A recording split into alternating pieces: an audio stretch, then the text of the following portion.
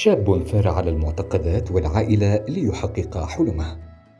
عرف بالإصرار والعناد وعدم الاستسلام ليقدم عبر مسيرة امتدت لأكثر من عشرين عاما أعمالا فرضته على الساحة بلقب خديوي الدراما العربية.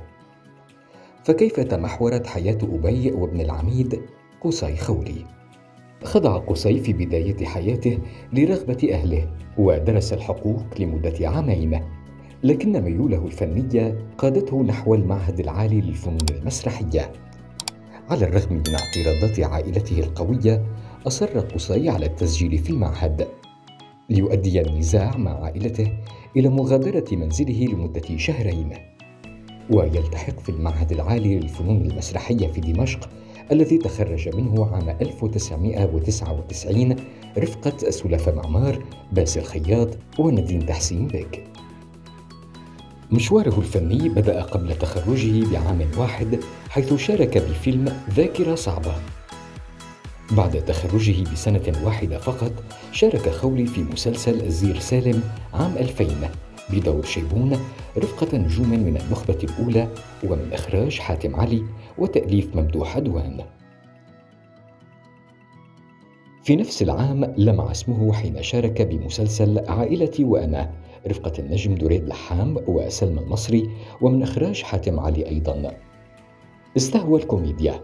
ففي عام 2002 مثل في المسلسل الكوميدي اللي ذوق وكترة غلبة من إخراج هشام شربتشي ما أكسبه شعبية كبيرة نظرا لخفة دمه وقربه من الجمهور.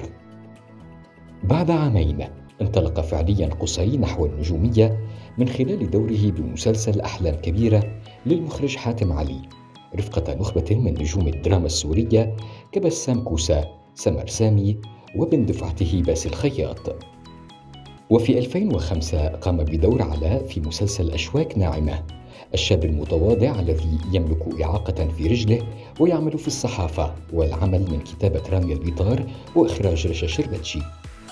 نقلة قصي النوعية كانت من خلال مسلسل غزلان في غابة الذئاب من تأليف فؤاد حميرة وأخرجته رشا شربتشي.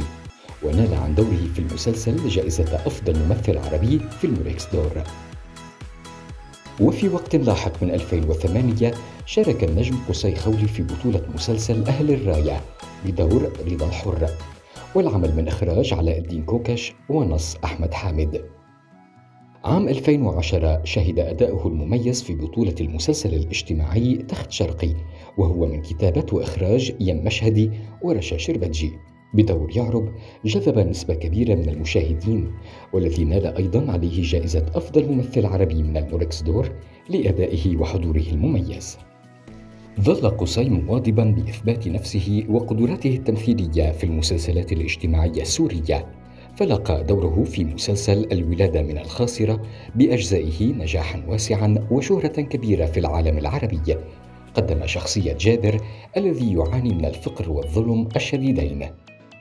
بعدها انتقل قصي خولي للدراما المصرية فكسب شهرة عربية منقطعة النظير بعد تجسيده لشخصية الخديوي إسماعيل في مسلسل سرايا عابدين بجزئيه الأول والثاني 2014-2015 يدور العمل حول حياة الخديوي إسماعيل عقب تسلمه العرش وحياته الاجتماعية مما أهله لكسب لقب خديوي الدراما العربية. في الدراما المشتركة لعب خولي أدوار البطولة في العديد من الأعمال. شكل ثنائية ناجحة ومحبوبة مع النجمة اللبنانية نادين نسيب جيم بمسلسلات خمسة ونص عشرين عشرين والتي لاقت أصداء ونجاحات وتكريمات كثيرة.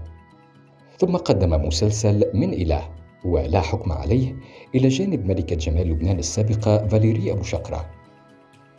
خاض خولي تجربة الكتابة والمعالجة الدرامية في مسلسل اسم بطولته إلى جانب قائمة من النجوم السوريين من بينهم ميسون أبو أسعد كفاح الخوص جلال شموت وعدنان أبو الشامات وهو بذلك لا يقدم أعمالا للتسلية بقدر ما يصنع منتوجا ثقافيا غنيا فكريا وإنسانيا.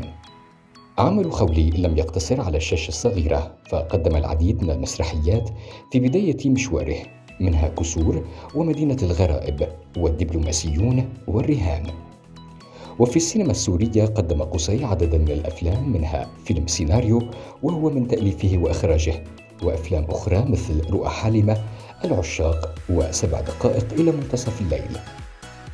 على صعيد آخر يعد صاحب الستة وأربعين عاما أكثر نجم سوري نال جوائز عن أعماله.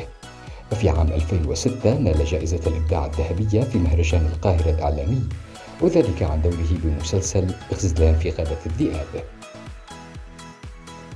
وبعدها بعام نال جائزة الإبداع الفضية لعام 2007 في مهرجان القاهرة الإعلامي وذلك كأفضل ممثل عربي عن دوره في مسلسل رسائل الحب والحرب.